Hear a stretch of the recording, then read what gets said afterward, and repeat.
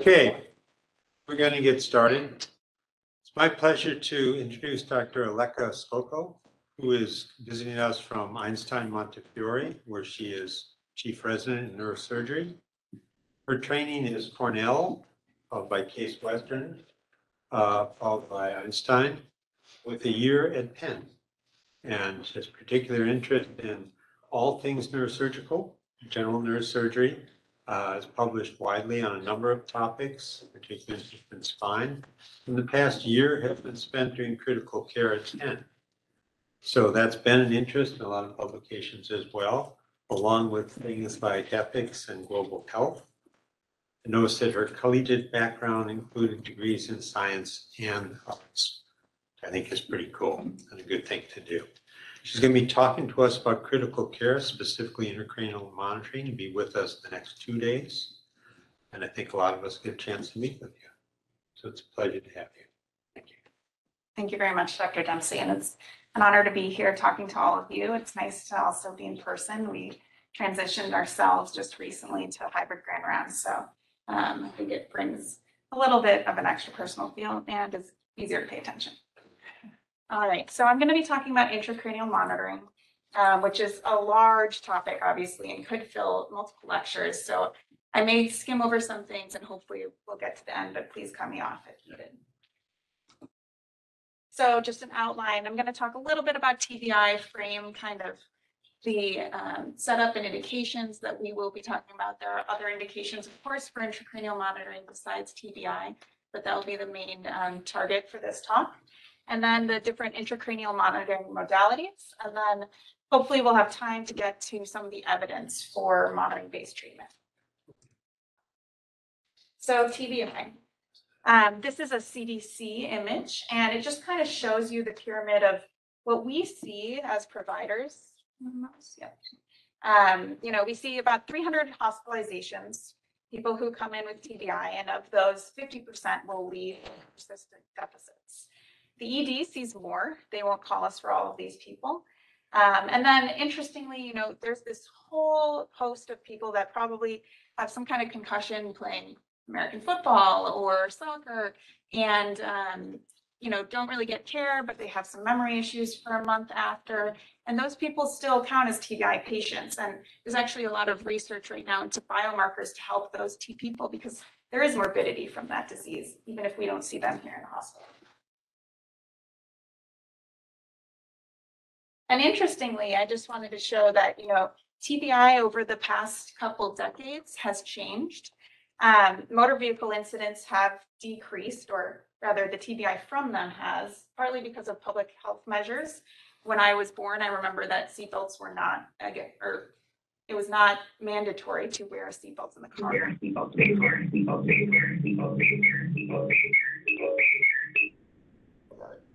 Um, and so, you know, that's actually had an impact, which is a good thing. Um, unfortunately, we're seeing a shift in intentional self-harm, whether that's the prevalence in numbers or rather more violent forms of injury. I'm not sure, uh, but that's a big part of this population. And so, of course, given the societal impact of TBI, there have been a lot of clinical trials. Um, on the right are just some of the um, agents that have been used for kind of medical therapy for TBI. And unfortunately, as you can see in this bottom left chart, Um, sure, I'm one of the most of them don't have a significant impact statistically in helping these patients. So we're very young in the research, um, and unfortunately, you know, patients come in, we can stabilize them, monitor them. There's not that much we can do, especially from a medical standpoint. Um, and I won't go too much into this. There was some hope from clinical phase two trials for progesterone in TBI patients, but phase three trials showed no benefit.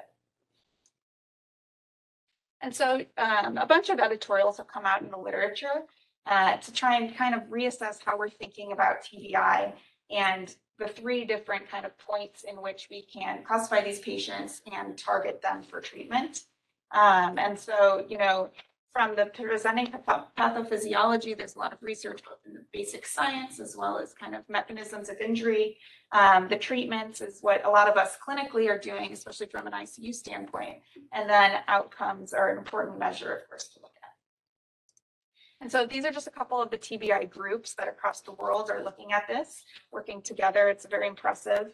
Um, and then some of the new biomarker studies just on the right to show that, you know, it's all stages of treatment that we're looking at. All right, so going to intracranial monitoring. So first I want to talk about the goals of neuromonitoring. Why are we actually doing this? Because, you know, intracranial monitoring, whether it's an ICP monitor um, or like a quad lumen bolt with an ICP monitor and other modalities, it can be a morbid procedure. You're going into the parenchyma most of the time. Um, and we want to have a good purpose to what we're doing.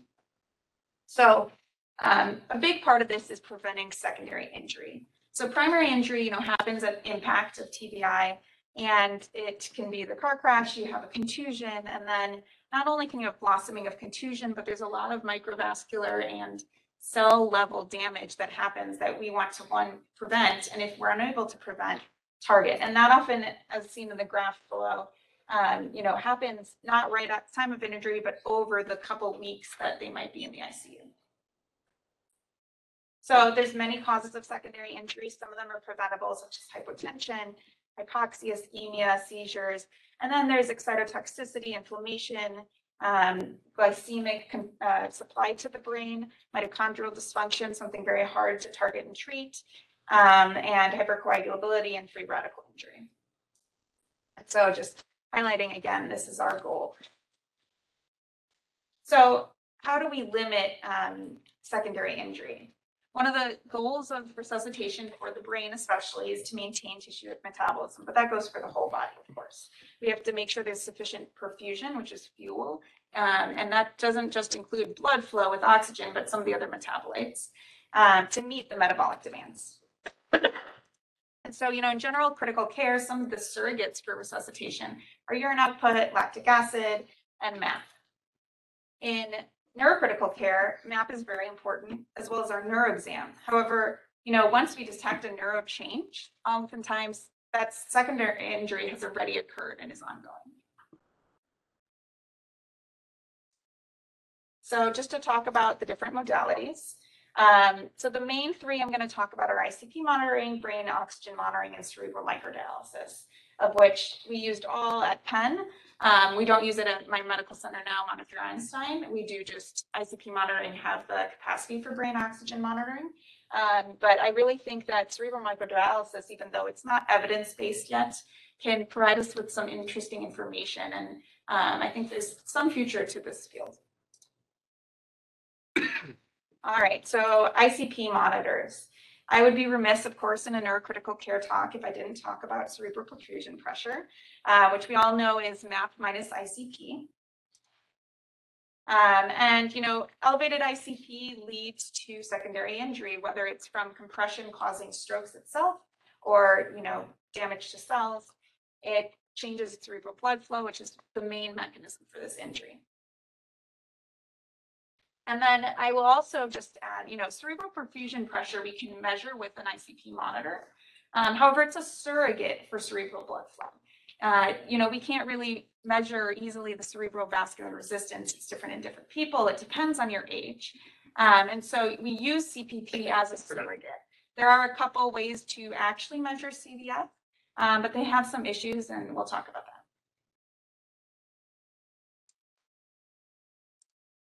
Uh, the, you know, final kind of essential doctrine that I have to also mention, of course, is Monro-Kellie. We're all familiar with the skull as a constant space, and you can only um, change some of the fluids, I guess, that are in that space to compensate for a mass lesion, extra blood, or what have you. The brain tissue is, you know, something that we really can't change except for altering the water content. And on the volume pressure curve, of course, you know, the slope becomes very high as volume approaches the maximum that the skull can contain. Um, and ICP will shoot up at that point.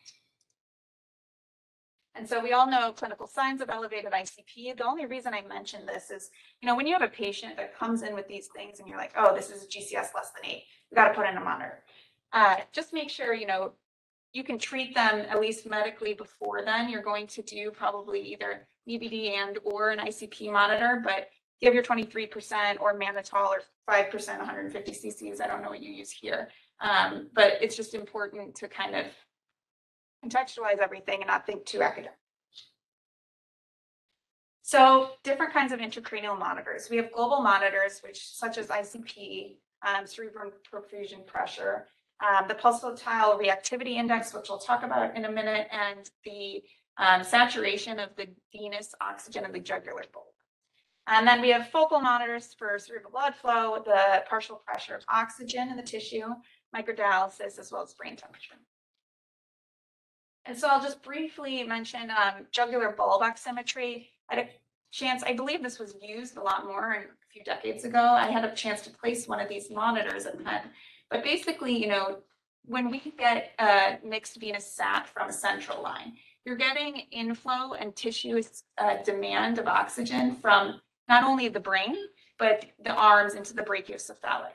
And so that doesn't actually represent the metabolic activity of the brain. There have been studies that show in TBI patients, some people are hypermetabolic and have an elevated CMRO2 uh, metabolic demand, and some are hypometabolic. And it's hard to treat those patients if you don't know what they're actually getting um, in terms of oxygen delivery. So the jugular bulb catheter, which is kind of inserted the opposite way of the central um, line, you know, you go up and you're going to end up by the C1 arch is the goal, but you have to use X-ray to localize it. Of course, if you are too short, you can't go further because you're not sterile. So it's a little bit complicated and finicky, but can be helpful. And there's issues, of course, besides with placement, drift, calibration, zeroing, which is, of course, issues with a lot of these monitors. And then just briefly to talk about cerebral blood perfusion monitoring. Um, this is something I haven't used personally, but you know, it goes in and will provide actual real-time information about the blood perfusion at the site of placement. Um, and unfortunately, though, there's a lot of artifact and I haven't seen it used. I'm not sure if you guys do. Uses thermal diffusion though for detection. All right, so our basic ICP monitors, I'm sure you guys are familiar with. They usually stay in about a week, um, can work pretty well for that time for most patients, I'd say. Um, and of course, we treat ICPs based on the um, 2016 Brain Trauma Foundation guidelines if they're over 22. Many of them also measure brain temperature, although the utility is arguable. Um, and we can use the waveform as well. So, sorry. This is our quad lumen bolt, which is kind of the most modalities you can put in an ICP monitor. Um, and the interesting thing, of course, is discussing where to put your bolt because you're going to get different focal results from the brain tissue at the place of your monitor. And it may not reflect all of the brain. So you have to be judicious in um, placing this. Usually for TBI, you're going to try and target some place that is, you know, not near the exact site of injury. However, there's an argument to be made to put it in the penumbra because that's tissue at risk. However, again, that may have cells that are not fully functioning and giving you false values. And so I'm not going to go through treatment of elevated ICP. I'm sure you're all familiar with this, but you know, we can optimize kind of ICP via three different main ways. One is targeting blood flow and minimizing venous return. Um, the other is, you know, in brain tissue, we can take out brain water, or you can surgically take out actual brain tissue or mass lesion, whatever is causing um, the elevation in the intracranial pressure. And then um, CSF drainage is another way, of course, to decrease the intracranial pressure.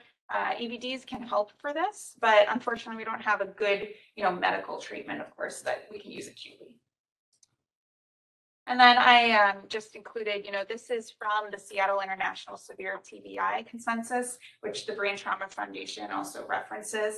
And so, you know, we have different tiers of ICP treatment. And just, I'm mentioning all of this because there is evidence-based medicine to treat ICP. So that's why we put in monitors for GCS less than eight. It can help us in care and increase perfusion. hopefully prevent secondary injury. These are the other tiers.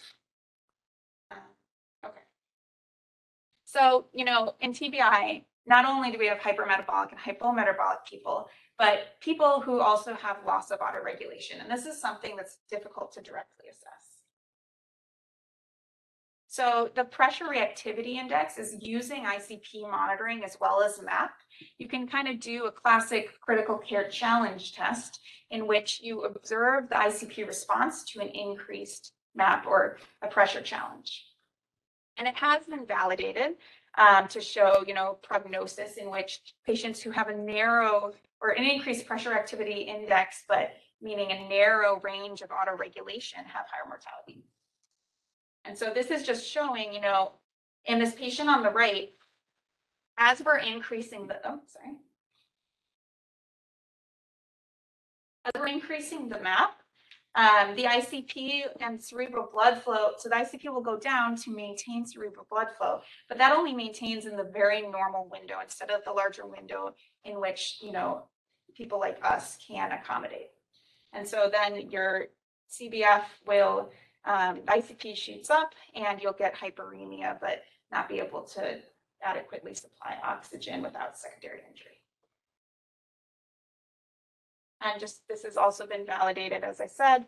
Um, this is one of the studies from neurotrauma in which uh, there was eleven point five percent prediction in mortality benefit from using the pulsatile uh, reactivity index.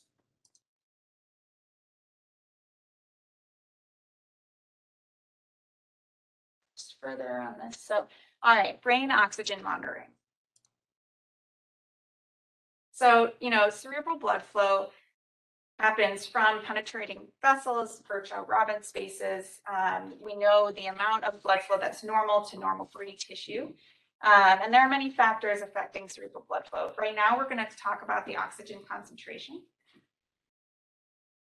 Um, also, there are some other factors, of course, that control more on a micro level, um, anything from sympathetic stimulation itself to um, age-related constriction of arterioles, decreasing compliance that just should be in the back of our mind, but aren't our main focus right now. And so the normal tissue partial pressure of oxygen is 35 to 40.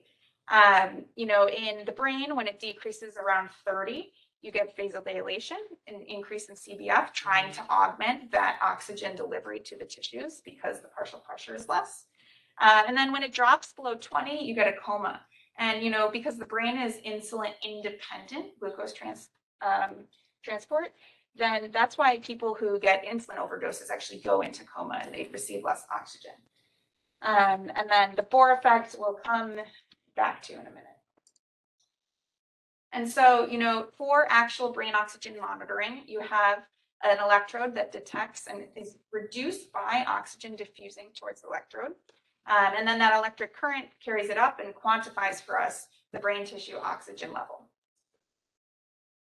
And so the ability to measure brain tissue oxygen has been around for a while. The FDA approved um, the first device in about 18 years ago. And we have different ones, Raumedic, Integra Licox. Um, however, there's no data that it actually improves outcome. So we're getting a lot of information, which, you know, everyone thinks information is good. We love information as medical professionals. Um, however, how do we use that and does it actually help? I'll get to that actually a little bit later. All right, and so the probe usually can also stay in for about a week. Um, this can act again as a surrogate of cerebral blood flow.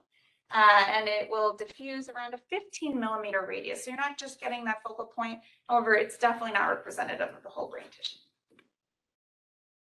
And then there's kind of, you know, if you have low PbTO2 and based on some theoretical evidence or in progress evidence, um, augmenting it should help prevent secondary injury. So how do we do that?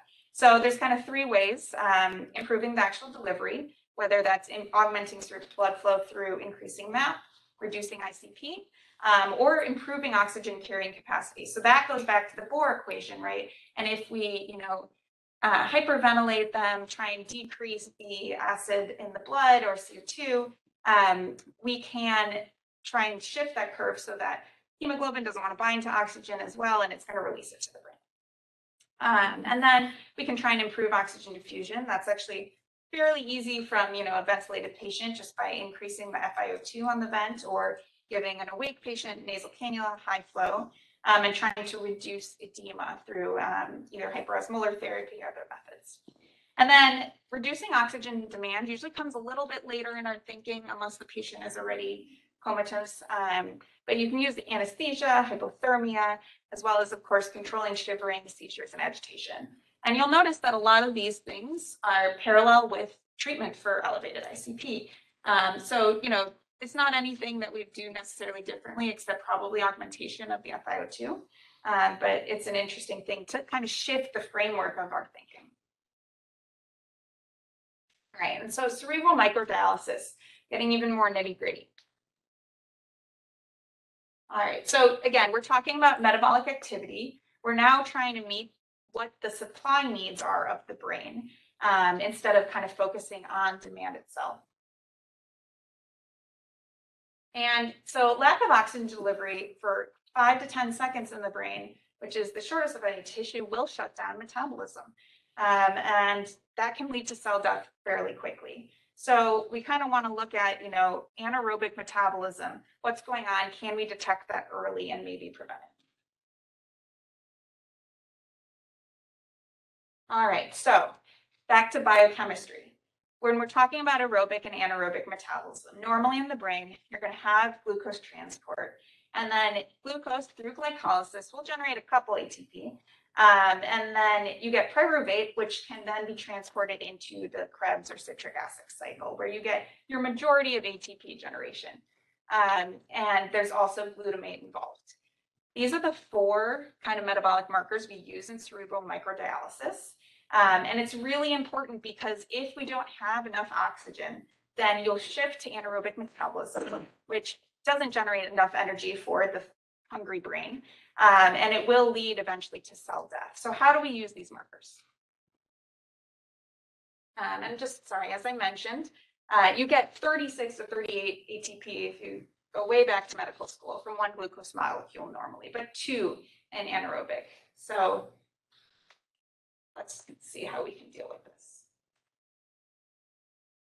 All right, so cerebral microdialysis is usually about 70% reflective of the extracellular space, but again, around that focal tissue near your catheter. Um, and so the highest utility is in detecting ischemia and anaerobic metabolism, and that's you know either just ischemia as well as mitochondrial dysfunction, which is a little bit different, I'll get to. But you get an elevation in your lactate pyruvate ratio, suggesting that we're shifting only to anaerobic metabolism. You'll get an elevated glutamate and as well as glycerol lag. So these are kind of thresholds below, um, which aren't necessarily intuitive, but you can always look them up, of course. And we'll go into each one. All right, so hypoglycemia is bad for patients in general. It's really bad for the brain. And that's how this all starts in the shift towards anaerobic metabolism. Um, and so, you know, there are treatments for low glucose. So if you detect this in the brain and let's say the blood sugar is 120, but you know, the brain glucose is like one, um, you're gonna be able to treat this hopefully. Not necessarily will glucose always be uptake and um, but that's why we have some of these other markers. All right, and then lactate. So lactate in anywhere in the body is one of the earliest markers of ischemia. Um, and the lactate pyruvate ratio has been shown to be fairly reliable um, for energy crisis, showing that. And there are different states in which it will be elevated. The two main ones, as I said, are ischemia and mitochondrial dysfunction. And then glutamate. We've all heard of glutamate excitotoxicity. Um, you know, when we're in anaerobic metabolism, glutamate isn't incorporated into the Krebs cycle and can build up as well as be released. I'm sure many of you know more about this than I do, but we know that it's bad, too much of it. Um, finally, if you think back to our uh, phospholipid bilayer, you have these glycerol PEGs. And so kind of down the line, when you're actually seeing real cell breakdown, you're going to have increased glycerol levels, and that's a bad sign. All right, so microdialysis, how do we use this? Should we use this? Obviously, not every neuro ICU is going to be equipped to do this. It requires pretty intensive nursing care. Nurses will write down all of the levels every hour. And, you know, even at Penn, there was only a flow sheet. I hadn't seen it before then. Um, but they had to actually physically write it down. They don't put it in Epic and then you look at the clipboard and say, hmm, this is the trend. But trends can be helpful, and I'll show a case in a second. And then, sorry, this is just kind of a macro view of what's going on. You have the pump, which is perfusing into this little catheter. And then just like hemodialysis, you know, there's a semi-permeable membrane, which will balance out with the tissue around the brain. And then you get the dialysate in which we will measure the markers. All right, so this is a patient, um, and you know, this is a TBI patient you have who at six PM, the nurse is like, hmm, you know, map is up. I'm, I don't think the patient's doing as well neurologically. You look at the cerebral microdialysis and you're like, wow, the lactate pyruvate ratio, which is the red at the very beginning, that's high. Brain oxygen is lower than it should be. That's less than 20. And then your ICP is starting to rise. So, you know, we're thinking about this patient, you may do some things overnight, but maybe someone was sleeping. Um, so you come in in the morning, you look at the numbers and we're like, all right, let's try and increase the map, increase cerebral blood flow, try and get this patient um, back to where they should be. So now you can see after increasing map, brain oxygen level is rising. That's a good sign that suggests that there's not mitochondrial dysfunction because we're actually able to use oxygen, um, as well as we're going to have a decrease in our lactate pyruvate ratio. And so, you know, trying to prevent further secondary injuries, some may have happened in this time period. However, this is something that even if their ICP was still kind of under 20, we were able to treat that alone. The brain was still not doing well, and we wouldn't have any idea um, without looking at these numbers.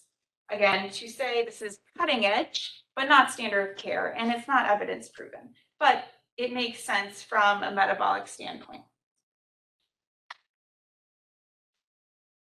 And so, you know, if you're looking at the actual absolute numbers in this, we're raising the map over 120. And that's that's pretty high. However, it actually improved the brain. So this person is probably either hypermetabolic or they need a lot more cerebral blood flow than you know the average patient.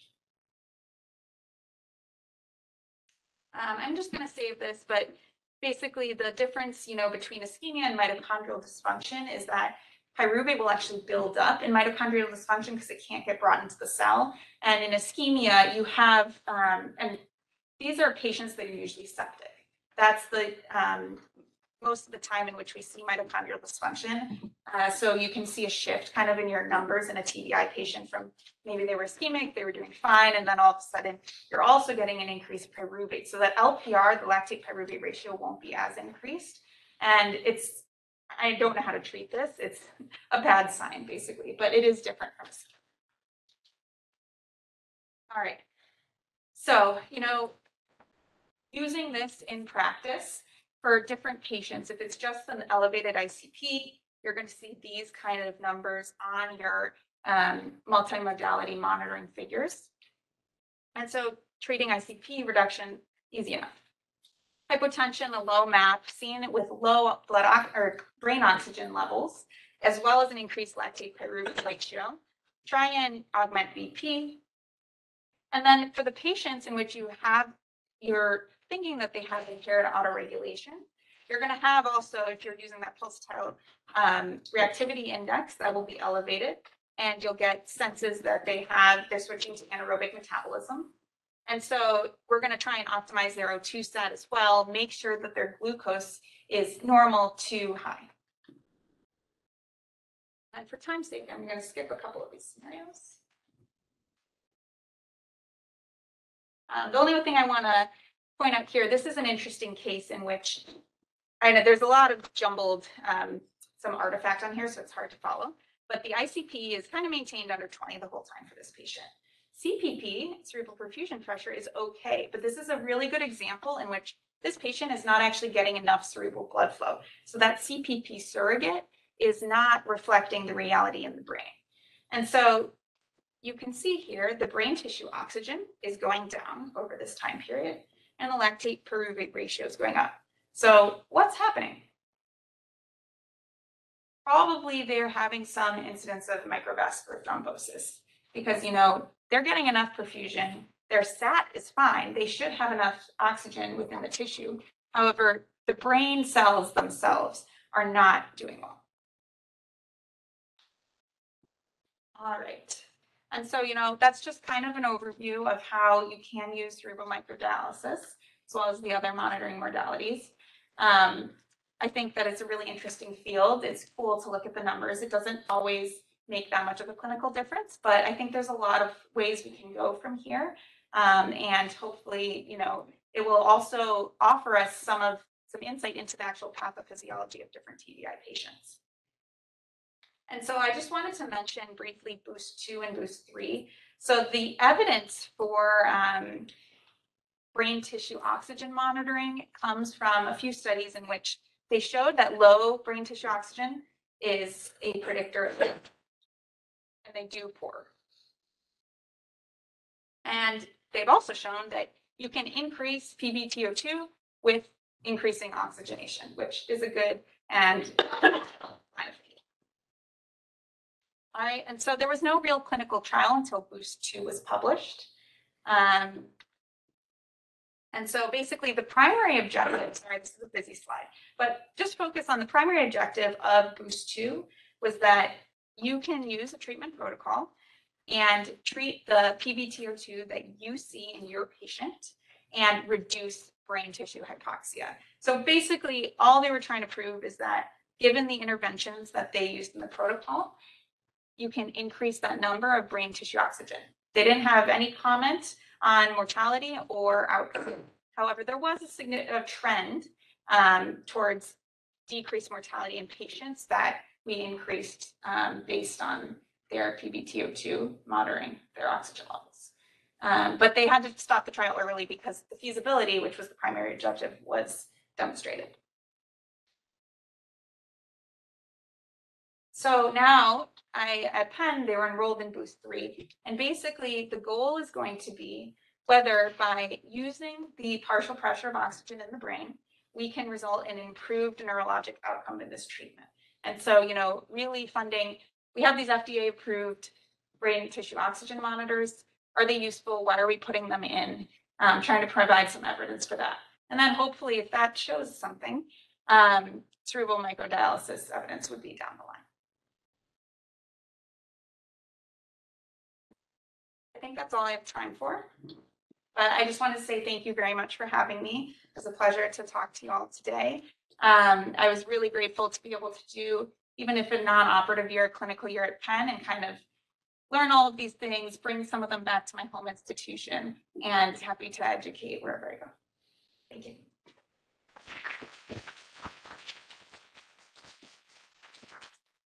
Thank you, Aleka. I, I really truly believe that critical care has always been and will continue to be one of the areas of neurosurgery that could have the most impact on patients if we continue to improve it. And that means you do research, that means you gather data. I'm intrigued, now, obviously your boost, et cetera, have strongly made arguments regarding tissue optimization. I'm intrigued by dialysis mainly from work in animal preclinical models. That um, this could be useful for metabolites, drug levels, uh, new compounds as opposed to classic pyruvate lac- lactate. Do you have any thoughts about that? What, what could be done as a research tool with dialysis? Yeah, that's very interesting to bring up. I mean, I think that if we can detect metabolites, especially as you said of drugs, right? And if we have some kind of medical therapy for glioblastoma or even one that we delivered surgically, seeing what the uptake is and what brain tissue is actually receiving that drug, I think is a really interesting application. Um, definitely could be a line of research. Um, and I'm sure there are others, you know, the cardiac field, I feel like is something we always compare to, whether it's stroke or other things, but they've found ways, they still do a lot of interventions, but all these medical treatments to treat their most prevalent diseases. And we have diseases that are very prevalent, but are so, so far in the early stages of medical treatment. And hopefully, you know, if we can make strides in that way, um, cerebral microdialysis could probably help in the actual proving, um, during some of those trials. Yeah, the smartest person in neurosurgery I ever knew, which was Ed Oldfield, always felt it could be both a monitor and a therapy, hmm. an avenue of therapy directly delivered beyond the blood-brain barrier. Other questions?